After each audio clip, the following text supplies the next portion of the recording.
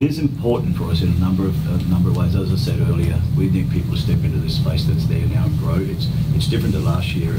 We were at near the top of the ladder at this period. I challenged them to say, you know, Olivia now, and we didn't quite know. This time's a different challenge, so we're continuing learning a bit about each other and certain players and groups of players. But uh, I'm, I'm really encouraged by the work they've done. I'm really encouraged by the enthusiasm and, and the way they've gone about their business in, in a real workman-like way that, they've been as honest as I've seen for, for a long time. Um,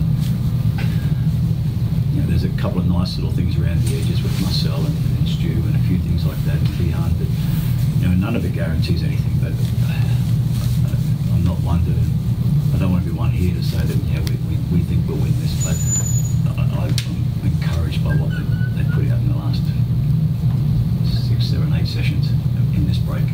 But it's important for us, uh, Michael. It is. It's, it's a really important period. Um, there is another piece of good news, sorry, because there was Stu Olding, but uh, Pete Nelson uh, right in the mix too. So uh, he's had a couple of games back for Hinch um,